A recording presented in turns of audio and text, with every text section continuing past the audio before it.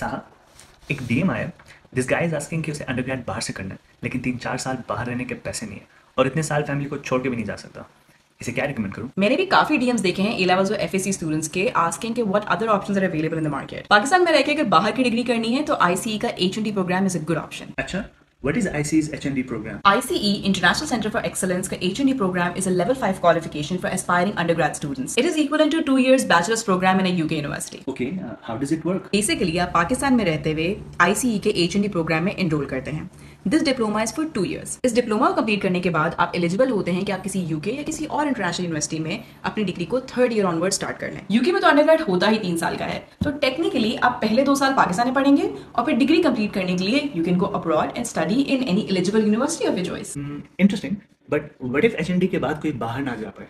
पैसे ही ना हो इतने। या फिर प्लान चेंज हो जाए। अगर किसी भी वजह से you don't end up going abroad for your final year तो उस केस में भी IC will give you option एक तो ये कि आप पाकिस्तान में रहकर भी डिग्री कर सकते हैं लोकल या इंटरनेशनल या फिर आप अपना डिप्लोमा कंप्लीट करके डायरेक्टली जॉब मार्केट में एंटर हो सकते हैं which is an added plus with this program in fact ये प्रोग्राम पियर्सन बीटेक एक्रेडिटेड है which focuses on making graduates job ready और इस डिप्लोमा के बाद जॉब भी मिल जाती है। या IC suppose job placements for HND student पहले तो this diploma is focused on skill based education specially business and computing skills फिर IC also has connections in the corporate sector Companies which helps the students get good jobs after they complete this diploma. Best हो गया ये तो काफी अच्छा option है I will share ICE's website with him so he can check it out. Check out ICE's website for more details and if you have any questions, drop them in the comments below. And for more such content, follow Begum Begum.